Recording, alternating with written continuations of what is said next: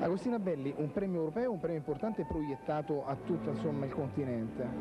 Beh, io sono fortunatissima perché è il secondo premio che mi, mi, assegnano e devo dire che la prima volta è stato per me un anno fortunato dopo questo premio, quindi mi auguro che sia altrettanto. Cosa farà Agostina Belli a Natale e a Capodanno?